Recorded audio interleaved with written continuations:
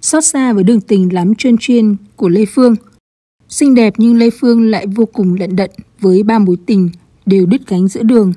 Đối với Lê Phương, dường như câu nói hồng nhan bạc phận chưa bao giờ đúng đến thế. Từ lâu công chúng đã quen với những chuyện hợp tan của các cặp đôi showbiz Việt. Thế nhưng nhìn lại chặng đường tình duyên đầy chắc trở của nữ diễn viên Khúc Tương Tư, không ít người phải xót xa. Còn nhớ khoảng thời gian Lê Phương và Quách Ngọc Ngoan thường xuyên xuất hiện cùng nhau, làm dấy lên tin đồn hẹn hò, nam diễn viên đã liên tục phủ nhận, thậm chí còn cho rằng đây là tin đồn vớ vẩn. Điều này khiến không ít nghệ sĩ cảm thấy bất mãn dùm Lê Phương khi có một người bạn trai lúc nào cũng chối đưa đẩy mối quan hệ với bạn gái. Quách Ngọc Ngoan bỗng nhiên lên tiếng xác nhận chuyện tình cảm giữa mình và Lê Phương. Cặp đôi chính thức trở thành vợ chồng vào tháng 3 năm 2012. Tuy nhiên, sự vội vàng của đám cưới này làm nhiều người không khỏi lo lắng cho sự hạnh phúc của Lê Phương. Không ngoài dự đoán, tháng 6 năm 2014, Lê Phương đâm đơn ly hôn lên tòa.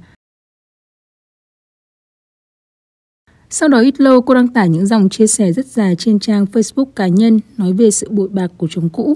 Không hề có trách nhiệm với con như những lời từng nói trên báo chí, Lê Phương cho biết Quách Ngọc Ngoan hoàn toàn không cấp dưỡng tiền nuôi bé cà pháo. Sự việc trở nên ồn ào khi cả hai không ngừng công khai dành cho nhau những lời lẽ gay gắt. Lê Phương tố Quách Ngọc Ngoan nợ nần và sống bạc. Lê Phương cho biết trước khi viết những dòng này cô suy nghĩ rất nhiều. Cô đã im lặng để bảo vệ gia đình bởi lương tâm của một người mẹ và một người vợ. Nữ diễn viên quyết định lên tiếng một lần duy nhất để tìm lại công bằng khi mọi việc đang bị Quách Ngọc Ngoan đảo ngược, bóp méo sự thật và đẩy đi quá xa. Lê Phương tâm sự, khi cô còn đang ngơ ngác bởi sự tan vỡ mà chưa kịp hiểu lý do, Ngọc Ngoan lại chọn lọc những góc khuất của sự thật, theo dệt những câu chuyện đáng sợ để trả đạp danh dự người đàn bà chân yếu tay mềm và chứng minh mình là trượng phu. Hơn lúc nào hết, Lê Phương chỉ cảm giác thương cảm cho cách sống của Ngọc Ngoan khi anh phải ép lòng chịu đựng những thứ anh từng nói mình khinh bỉ để được lấy cái danh quý ông lịch lãm. Lê Phương cho biết Quách Ngọc Ngoan từng nhiều lần mượn cô tiền. Đó là số tiền cô đã đổ bằng mồ hôi, nước mắt và máu, phải xa con để đi làm cật lực. Thế nhưng đến giờ cô chấp nhận ly hôn và nuôi con với hai bàn tay trắng. Lê Phương đau khổ khi con phải chịu thiệt thòi quá nhiều, trong khi cha thì xài đủ hiệu xa xỉ suốt ngày tiệc tùng, mẹ lại phải chạy từng hộp sữa nuôi con. Lê Phương khuyên chồng cũ hãy sống chân thật, đừng thanh minh bằng những câu chuyện giả nhân giả nghĩa, vì cây kim trong bọc lâu ngày cũng lòi ra. Nữ diễn viên cũng lần đầu tiết lộ về người đàn bà phía sau Quách Ngọc Ngoan. Đây là người giúp Ngọc Ngoan thoát khỏi cảm giác phập phồng lo sợ từng ngày bởi những cuộc gọi tin nhắn đòi nợ. Chưa kể còn giúp anh biết ngưỡng cao đầu, tiếp nhận với văn minh nhân loại mà anh sẽ không bao giờ tự sắm được bằng chính sức lao động của mình.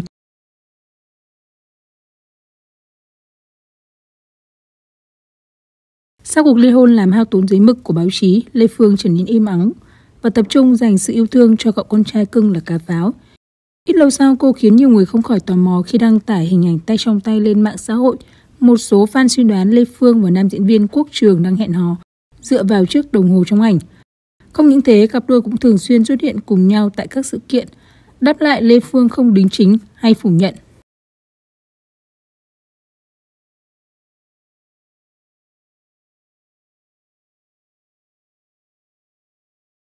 Bằng đi một khoảng thời gian, nữ diễn viên bất ngờ công khai tình cảm cùng Quý Bình.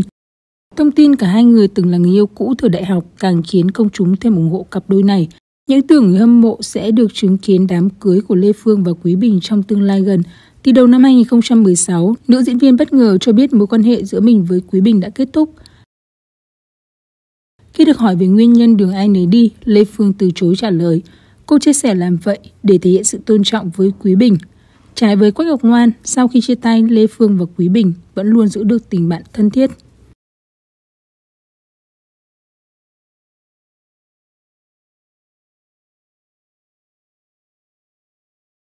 Chặng đường ngọt ngào với phi công trẻ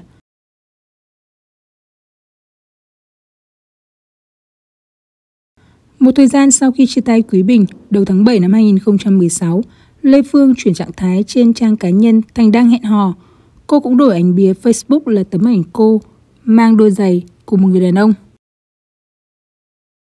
Cô cũng đổi ảnh bìa Facebook là tấm ảnh chụp cô mang giày đôi cùng với một người đàn ông. Thời điểm đó Lê Phương thừa nhận đang yêu nhưng chú muốn công khai danh tính của bạn trai. Từ hồi ly hôn đến bây giờ, tôi cứ bị đồn, gán ghép hoài. Đây là lần đầu tiên tôi khẳng định về chuyện tình cảm của mình. Về mối quan hệ này, chỉ cần biết là tôi tự tin với nó, mọi chuyện từ từ rồi sẽ rõ ràng thôi, nữ diễn viên tâm sự. Người hâm mộ sau đó phát hiện ra bạn trai của Lê Phương là ca sĩ Phạm Trung Kiên. Anh sinh năm 1992, hiện đang công tác tại đoàn nghệ thuật quân khu 7 và từng đoạt giải nhất trong cuộc thi tiếng ca học đường. Sau này Lê Phương cho biết cô gặp Trung Kiên trong một chuyến đi biểu diễn phục vụ các chiến sĩ ở đảo Trường Sa. Sự nhiệt tình chu đáo ở chàng trai kém tuổi khiến Lê Phương cảm động và tình cảm đến với họ một cách tự nhiên. Năm 2017, cặp đôi quyết định tiến tới hôn nhân.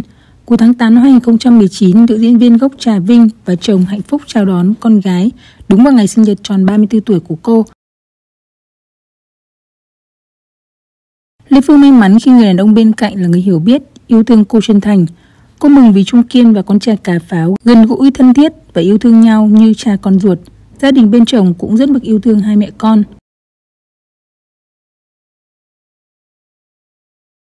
Lê Phương tên thật là Trang Dương Lê Phương, sinh năm 1985, có tốt nghiệp trường cao đẳng sân khấu và điện ảnh thành phố Hồ Chí Minh và tham gia hàng loạt các bộ phim như là Ký túc xá, Tường vi cánh mỏng, Mây trắng ngang trời, Vó ngựa trời Nam, Bước chân hoàn vũ. Lê Phương tốt nghiệp thủ khoa qua diễn viên sân khấu và điện ảnh K8 năm 2003, trường cao đẳng sân khấu và điện ảnh thành phố Hồ Chí Minh, nay là trường Đại học sân khấu điện ảnh thành phố Hồ Chí Minh Lê Phương bước vào nghề đóng vai chính trong bộ phim truyền hình Ký túc xá của đạo diễn Châu Huế. Sau đó cô tham gia hàng loạt các bộ phim khác như Tường Vi, Cánh mỏng, Mây trắng ngang trời, Những cuộc tình trắng đen. Nhưng phải đến khi là nhàn trong Vó ngựa trời Nam, Lê Phương mới thực sự là người của công chúng bằng giải HTV Award dành cho top 5 diễn viên phụ xuất sắc. Cũng sau sự kiện này, khán giả thường xuyên gặp mặt Lê Phương trên màn ảnh với những bộ phim truyền hình quen thuộc.